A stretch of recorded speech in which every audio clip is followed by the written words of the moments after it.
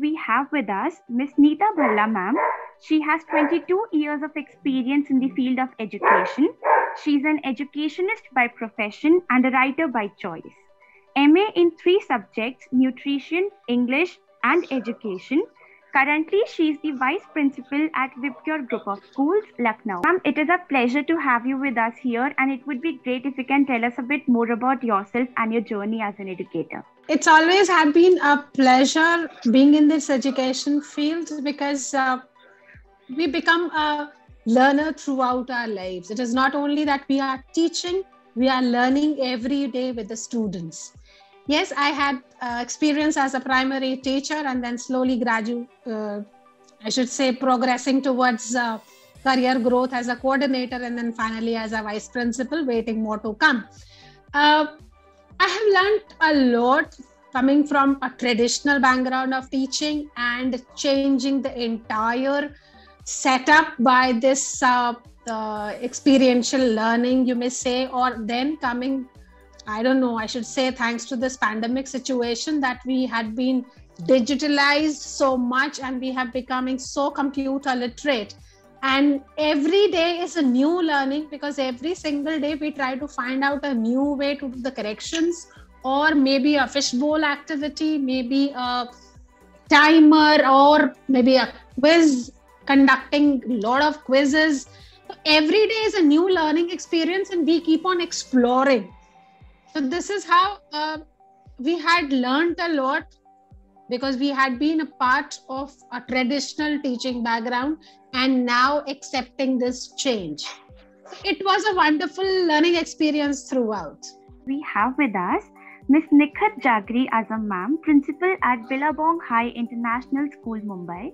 She is the recipient of Education Leadership Award by World Education Congress with master's degree in education. She has more than 35 years of experience in leading schools. Her experiences, skills, competencies, passion, and commitments to continuously improve the educational system makes her a great fit for the entire educational institution background. Ma'am, it would be great if you can tell us a bit more about your journey. My journey as an educator actually started with me having graduated uh, from Mumbai University and majored in child development, and that intrigued me and made me want to go ahead and pursue this as a career. So, career uh, just happened. Initially, it was just a love of learning and love of being with the children that made me do this, and also followed it up with a diploma in ACCA. Then I started working with preschool children.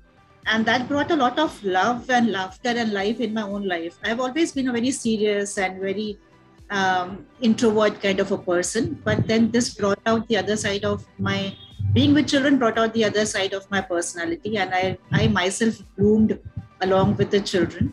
And my journey as an educator began from there.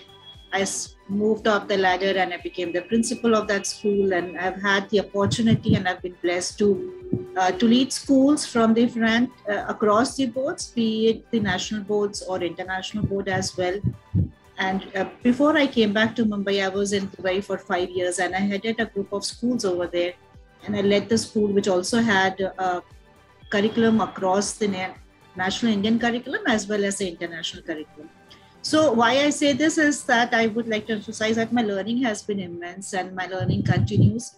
As uh, Ms. Neeta rightly said, that the pandemic has taught us a different uh, way of learning, teaching and learning process. And it's been great learning for the last two years.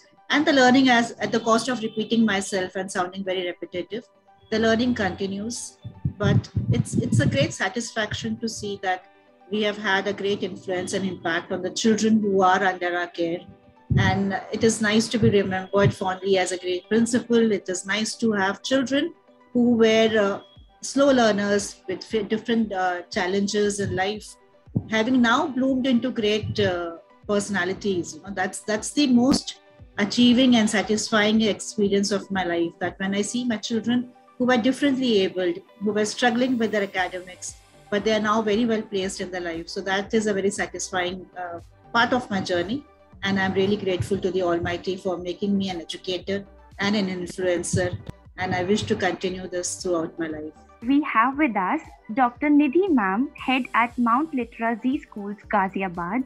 She's an academician who has been a part of education world for more than 25 years and has worked in the capacity of teacher, vice principal, principal, director in schools of India and abroad. She's a leader who has ignited young minds to ensure their initiate potential. I started uh, being an army officer's wife. I've traveled both India and abroad and uh, started my career in a small town from a small town in Assam and then uh, moved on uh, to become a PGT and then took over as principal. Then I was the regional school director with uh, um, uh, with Essel Group, the Zee Group, and I had headed the Northern India schools. And currently, of course, I am uh, heading uh, one of their schools in Ghaziabad. So, in brief, as my elite panelists have already shared, for an academician it's always a great satisfaction when you know when you see um, your students progress and when uh, you, you, see them uh, appointed at higher posts and doing well. And during this journey of mine for 25 years i've grown from a facilitator to a leader. And uh, mm, pandemic of course has taught and since I've always been working with progressive schools primarily. So, experiential learning and hands on learning has been the uh, prime focus of teaching children uh, the nuances, different nuances of uh, education.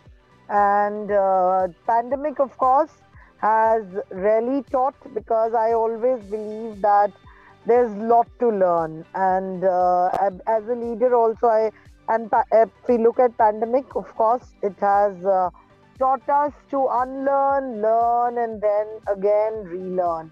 And uh, technologically, the the educators have grown, have moved an extra mile. Uh, so pandemic, in a way, has taught us many things. Though of course, certain gaps have also got exposed uh, during the pandemic times and uh, we and the new NEP that has been uh, introduced, the new education policy that has been introduced. So a lot of uh, things on the skill work, on the skill building of the students is a way forward that we are looking at. So in a nutshell, this is from my side. We have with us Mr. Neeraj Sir, an IIM Indore alumni and a mechanical engineer who created Real School in 2018 to fill in high order skill gap commonly uncommon among employable youth. He realized that process of upskilling starts at the early stage when creativity and learnability is at its peak. He was also awarded the Leaders in Innovation Award Fellowship by Royal Academy of Engineering. Uh, first of all, I'm extremely honored to be part of uh, this panel where uh, you know my experience in edutech overshadows my leaps and bounds. Uh, so so basically my you know my experience with education or you know in the in the, in the teaching space started very early when you know uh, i had a little i had a young uh, sister. So we would always you know question. I would i would generally take out this take take on this challenge that you know uh, this is a question. Let's try solving it without looking into the book without finding an answer and and then see who who comes with the right answer like why do clouds form so things like that got into me. I started you know having i started creating my own way of teaching my way my own way of uh, you know pursuing a question and finding out those answers. That led to me forming a company in when i was in 8th standard that was into you know teaching electronics to kids. I would get material teach uh, electronics. I started a hobby club. So teaching was was you know very very close to me. I went on to do my engineering and all but i had a very brief stint of uh, 3.5 years working with an education company where i was uh, instrumental in creating their hands-on activities uh, through robotics. Uh, that was back in 2009, 2008, 9, 10. After doing my MBA, I, uh, you know, out of my own curiosity, I started a company which was into industrial automation. But back again in 2018, much before the pandemic, I thought, you know, why not, uh, why not, you know, I started a company. Why? Because I had my inquisitiveness to solve problems that are all around us, but yet we can't identify them so you know there has there's something which is extremely lacking among each one of us that we can't find problem and we can't solve them? So why not you know uh, start something which could create that that empathy that design thinking among kids that you know that capability to uh, to develop their skills so that they are more suitable to solve real world challenges. So let us call it real school which would which would solve real world challenges. And that's how we didn't even see of, of uh, you know a pandemic coming but uh, yes we were like you know very much ready to to give that kind of experiential learning and hands-on education through some of our products. And i'm really happy to see the progress of my students till now.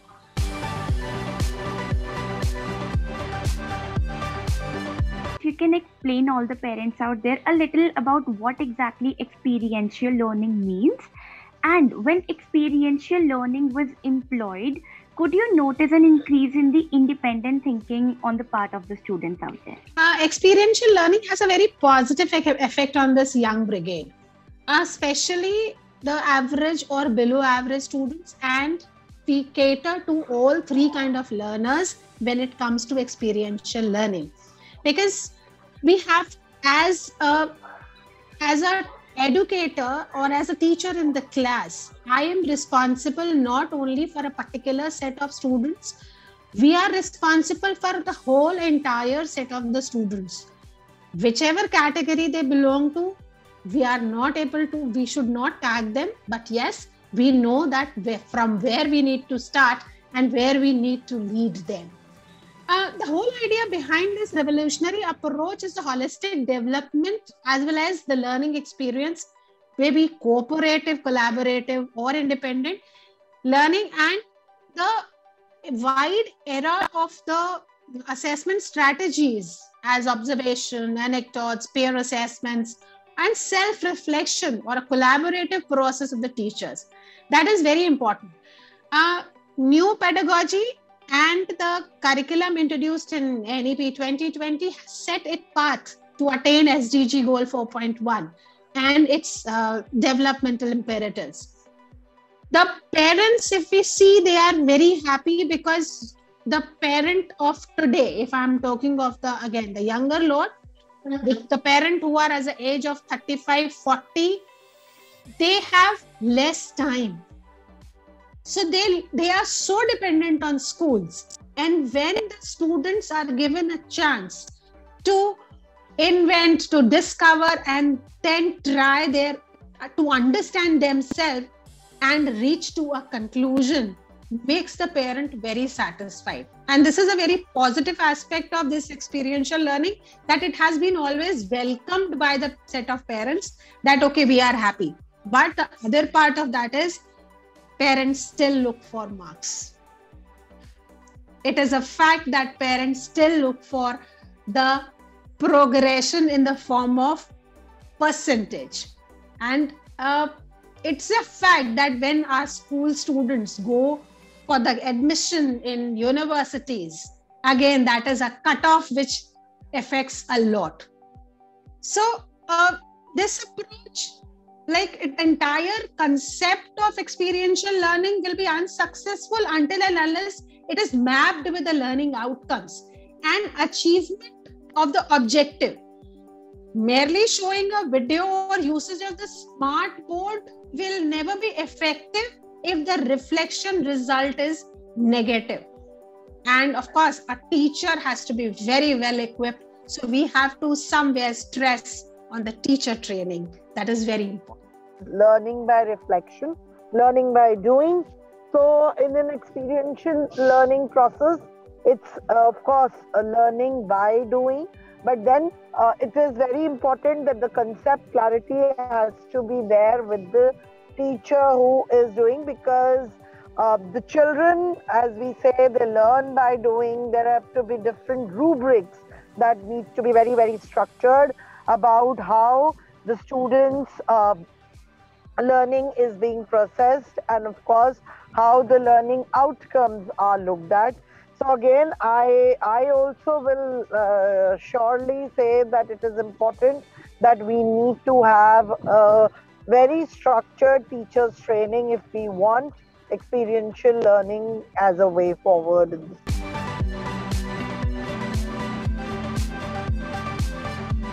You have also mentioned about the same that teachers need to be equipped and everything regarding the experiential learning. So how can that be done? And this model, uh, how how is how will it be useful for the teacher staff out there? As the this is the demand of the era, the demand of the time that we keep on training our teachers. And if we are, you know, laying out certain okay, you have to do a uh, suppose a role play, or you you had you teach your students suppose uh, give a different end to a particular story, or you are designing a blurb or a cover page or any kind of project which we are doing as a learning. Or we are learning about types of soil anything. Point is that if the teacher has to understand because here we are keeping the global dimensions also in mind. So if my teacher is not well equipped we train our teachers with n number of soft skills. Of course this professional growth of teacher matters a lot whether it is attainment of the sdg or in a simple way reaching to an objective of the concept taught in the class if I wanted my child end of the chapter or end of a particular day's lesson, my child should understand what is mean meaning of the definition of an adjective. And I teach n number of things, but I could not teach the definition of an objective. I'm sorry, adjective. Then the entire day's plan goes for a waste.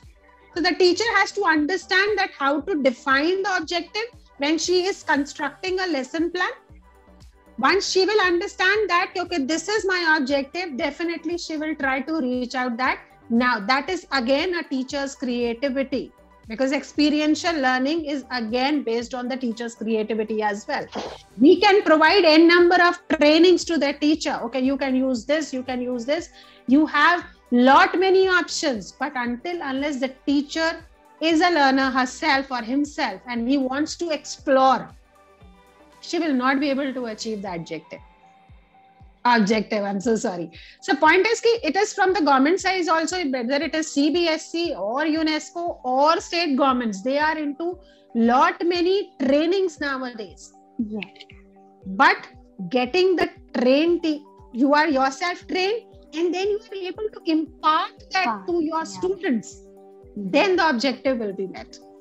It is all about experiencing, reflecting, initiating, and then, uh, you know, acting as per the thing. That learning outcome is important, definitely, but more stress has to be on the learning process because the processes need to be very well defined and teachers need to be trained as per what are the learning processes they are utilizing for different learning approaches or because whether uh, when we talk of experiential learning david kolb's uh, experiential learning approach is here to stay. And it is you know we keep on camouflaging it in different ways. But at the end of the day uh, even if we look at how if we look at a small child the child who doesn't know how to talk will start because why do we say that talk to the child? Because then the child will start talking. So it's all experiential learning ideally. So if we look at the language language we always say uh, it cannot be taught it has to be caught because lsrw so these are the processes. We keep the learning at the end of the day if we look at the uh, of any language the learning outcome is that the child should know how to write. But somewhere the lis- listening speaking and reading skills are uh, we are not looking into it. So it's important that we stressed on if we look um, at what happened with india in 2009 our uh, if we look our our students are doing well. They are well established. Uh, the google ceo is an indian. But then at the end of the day we also have to understand the fact in 2009 in 2009 when the pisa uh, assessment uh, exam ha- uh, uh, results had been out india stood second from bottom. And now again in 2022 uh, pisa is again niti aayog did take a way forward and the pisa assessment will be c- conducted particularly for the Ch- uh, it is being conducted in the chandigarh region. And see the numeracy literacy and the logical critical thinking skills have to be stressed on uh, through experiential learning manner, uh, what we talk of. But then again, it is important to build on these skills of the children, which somewhere um, is uh, still that these areas have to be looked on into. So again, the main thing comes, or the crux of the problem comes, is that our teachers have to be trained, have to be very well equipped with the learning process. It's very, very important.